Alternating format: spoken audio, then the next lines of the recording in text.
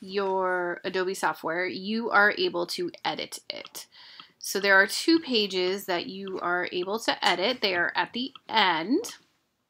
And what you're able to do is to add all the information you want. So where you see these blue boxes, that is where you can type. So in here, you can type in the um, message to families about coding. And then here you can put in the coding vocabulary that you want to share with them. And then define the vocabulary. And then these three here are for the tips um, that you want to share for how they can um, do this at home. And then down here is your heading. Now you can do the same on this page also.